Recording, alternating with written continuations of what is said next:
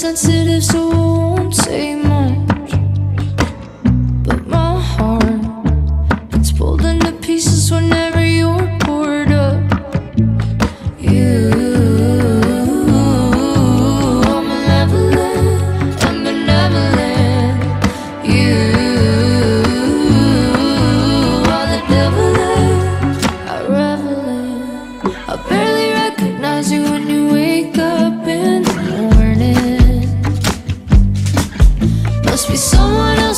That I look